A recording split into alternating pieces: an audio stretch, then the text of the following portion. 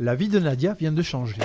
Atteinte d'une sclérose en plaques, cette Normande, installée à Saint-Olé, profite de l'initiative de son mari, rouler sur un scooter 100% électrique qui lui facilite les déplacements.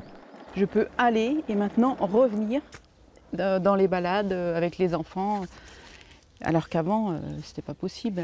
Je peux toute seule aller faire mes courses, au moins je peux vivre comme tout le monde.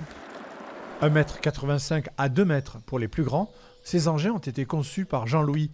Cadre américain, câblage japonais, moteur électrique allemand, montage à Hong Kong. Et le Dog Shapers, c'est son nom, se recharge comme un téléphone portable.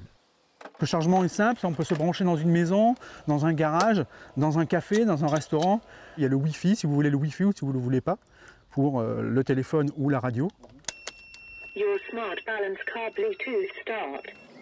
Outre les personnes à mobilité réduite, ce véhicule déjà vu en Californie et en Floride, nouveau en France, est à usage multiple, à la ville comme à la campagne. Les pistes de marché ne manquent pas.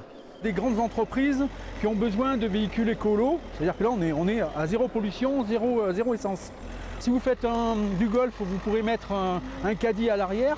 Si euh, vous euh, êtes dans un camping, vous pouvez sortir après 10 heures sans, en rentrant sans faire de bruit. À deux ou trois roues, de 70 à 85 kg, vitesse 45 km/h, ces machines peuvent transporter jusqu'à 200 kg de charge, comptée de 2500 à 3000 euros selon le modèle.